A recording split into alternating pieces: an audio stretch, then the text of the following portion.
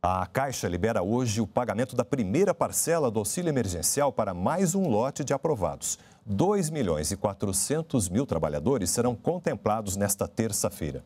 Vamos então saber mais detalhes com a repórter Selma Dias. Oi, Selma, bom dia. Oi, Roberto. Bom dia para você para todos. Olha, esses trabalhadores fizeram requerimento no mês de maio e estavam aguardando a análise aí do cadastro. É um crédito retroativo da primeira parcela do auxílio emergencial.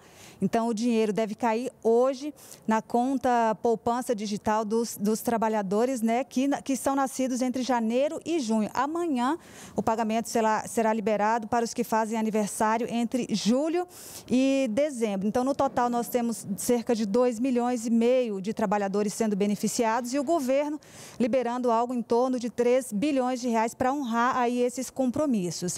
Esses valores inicialmente poderão ser usados apenas para pagar contas, boletos e na função débito e a partir de 6 de julho os valores serão liberados na função de saque. Quem quiser consultar a situação do benefício é só entrar no site auxilio.caixa.gov.br. É isso, Roberto, volto com você.